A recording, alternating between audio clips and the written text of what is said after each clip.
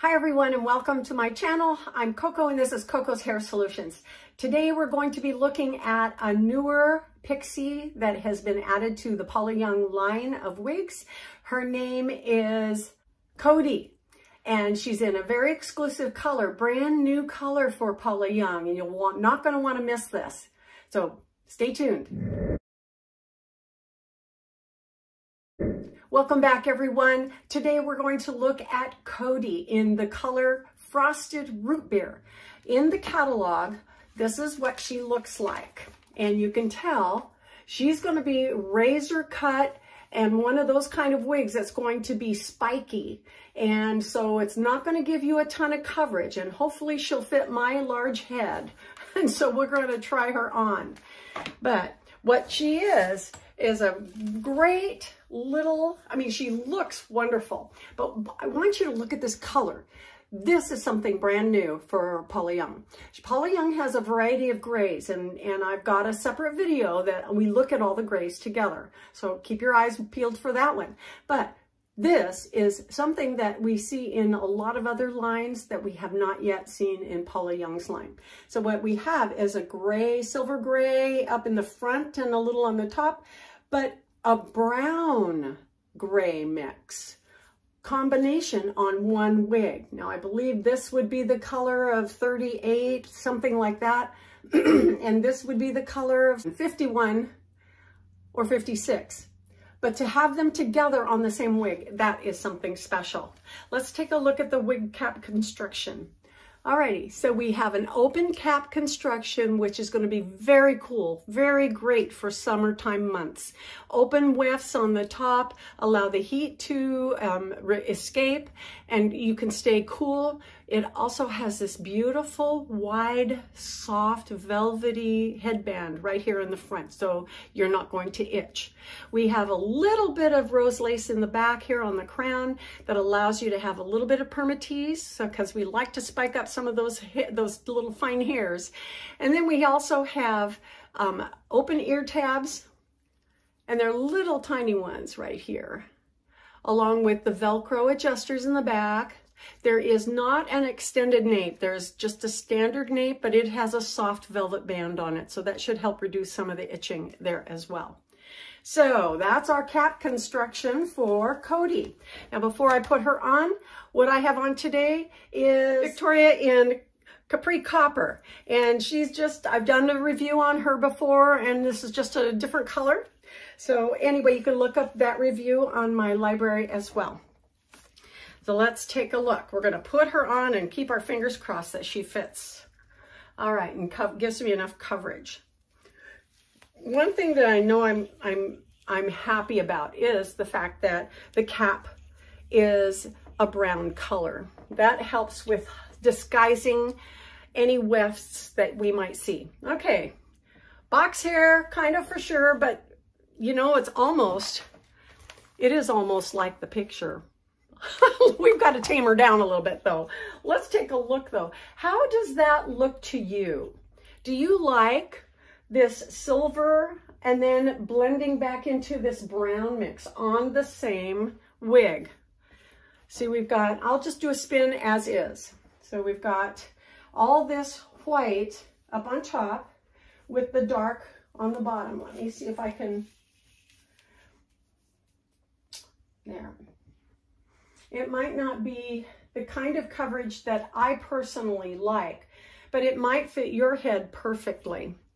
All right, so we've got it up at my hairline. So the bangs are relatively short. They're meant to be spiky. I can tell right now, let me see if I can activate some of that permatease. Wake that up. And the, then this is supposed to be laying flat. But what I'm going to do is I'm going to take and spray it with water. Okay, so I'm going to be very liberal with my water. Doesn't hurt the fibers, helps to wake them up, and it also helps me to be able to style and change the direction that the box hair may have left, left me with. Okay, So I'm pretty well saturated. Now I have to tell you, I do like the darker roots. I did not realize that that was going to have dark roots on top. So I'm really, I'm happy with that part. Okay, so do I like, okay, now this is my, these are my sideburns. So I'm not getting a lot of coverage with this particular wig. It's um, not not covering me all the way. But I do have that problem when I get into shorter pixies.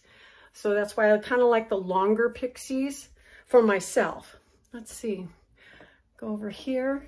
Let's play around with that a little bit. Get, get my own sideburns under there. And because my sideburns are gray, they're salt and pepper actually, I can get away with less coverage if I'm wearing a gray wig.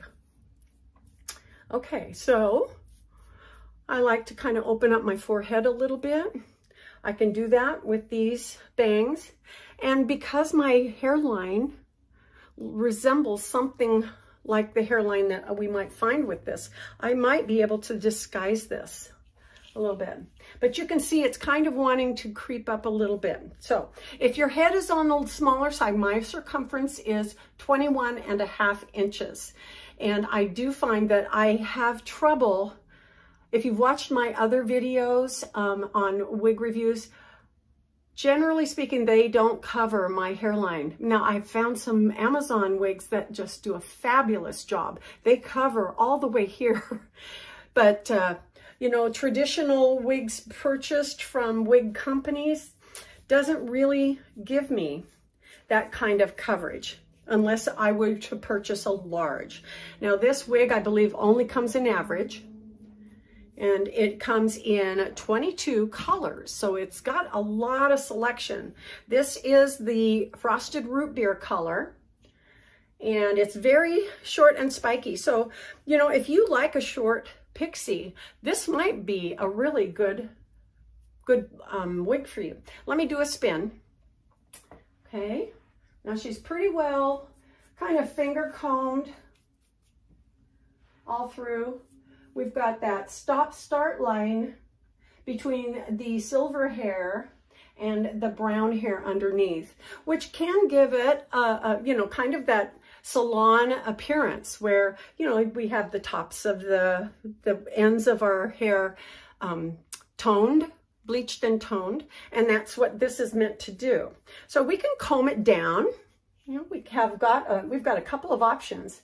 Yeah, you really, on my hair, I can really see my sideburns a lot. Yeah, because see, here's my sideburns, and this is not covering all of it. So I would probably not, unless I shaved my hair underneath my bio hair, shaved it all off, then I would be able to do it. But it is kind of a cute little pixie, you know, um, just simple, easy.